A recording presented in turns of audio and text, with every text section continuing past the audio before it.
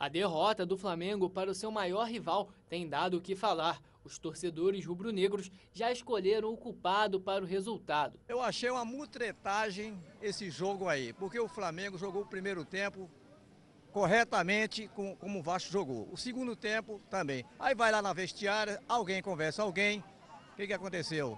Cavaram aquele pênalti, que não sou eu que estou falando, a imprensa comentou esse pênalti que não existiu. São juízes, entendeu?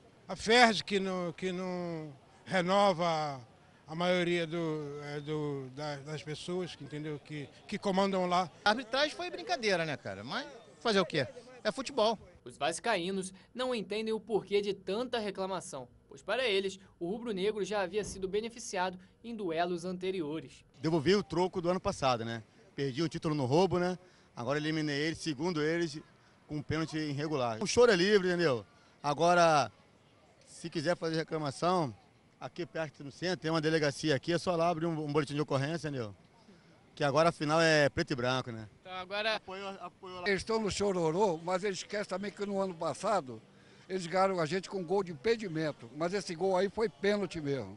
A partida da tarde de domingo foi recheada de lances polêmicos, como este de Cristiano e Anderson Pico. Mas o jogão não teve apenas lances espantosos. Olha a linda defesa que Martin Silva fez em finalização de Alexandro. E o que falar dessa ponte de Paulo Vitor após bomba de Gilberto?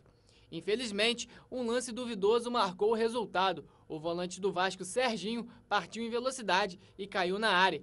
O juiz não pensou duas vezes e marcou o pênalti que foi muito contestado. Gilberto não quis nem saber de polêmica, deslocou o goleiro, sacramentou a vitória e correu para a torcida. Polêmicas à parte, agora é hora de decisão. O Vasco vai enfrentar o Botafogo no domingo pelo primeiro jogo na final, no Maracanã, a partir das 4 horas. A torcida vascaína se despede com alegria do seu arquirrival. Tchau, olha o chororô. Depois diz que é rubro que Botafogo que chora, né?